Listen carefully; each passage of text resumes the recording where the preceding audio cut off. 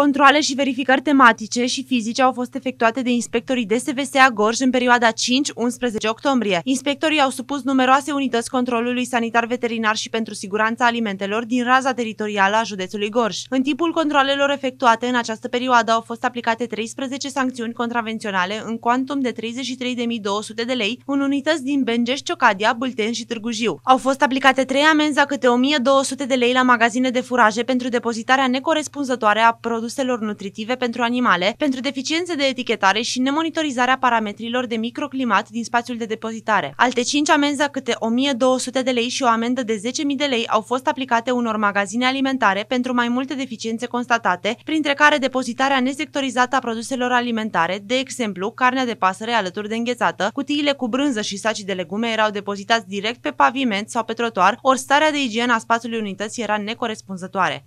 10.000 de lei a primit un restaurant pentru depozitarea necorespunzătoare a produselor alimentare. Au fost date și două amenzi a câte 1200 de lei la două rulote fast food pentru depozitarea temporară a pastei de mici în afara spațiului frigorific și pentru transportul acesteia cu un mijloc de transport neautorizat. Un magazin alimentar a primit o amendă în valoare de 1200 de lei pentru manipularea produselor alimentare cu încălcarea normelor de igienă stabilite de ANSVSA. Inspectorii DSV Gor speră ca prin intermediul acestor controle să asigure o desfășurare cât mai corectă a activității agenților comerciali pentru a nu fi pusă în pericol sănătatea cetățenilor.